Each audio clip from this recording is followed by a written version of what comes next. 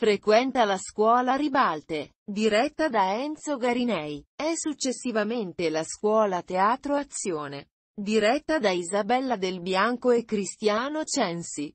Tra i lavori più interessanti possiamo citare la prima e seconda stagione della miniserie tv.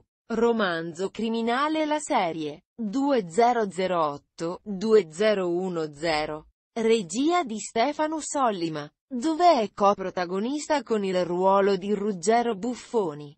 Sempre nello stesso anno lavora nel film 20 sigarette. Regia di Aureliano Amadei, nel ruolo di Tino. Nel 2012 è coprotagonista insieme a Raul Bova della miniserie tv Ultimo 4 L'occhio del falco e interpreta Sergio nella serie tv matrimonio di Pupi Avati. Sempre nello stesso anno partecipa al secondo film di Massimiliano Bruno Viva l'Italia, nel ruolo di Mazzone, ed è nel cast del primo lungometraggio diretto da Enrico Maria Artale Il terzo tempo, prodotto da Aurelio De Laurentiis e il CSC, in concorso alla Mostra del Cinema di Venezia 2013. Nel 2013 è presente in Squadra Antimafia Palermo Oggi 5 dove recita al fianco di Francesco Montanari, nel ruolo del mafioso Michele Catena.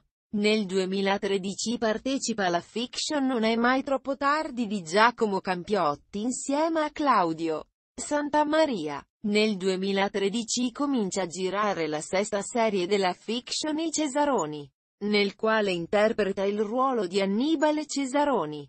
Nel 2015 è coprotagonista nel film Se Dio vuole, opera prima di Edoardo Falcone, accanto a Marco Giallini e Alessandro Gasman.